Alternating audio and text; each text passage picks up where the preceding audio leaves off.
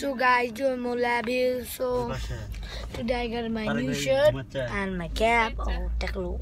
Okay.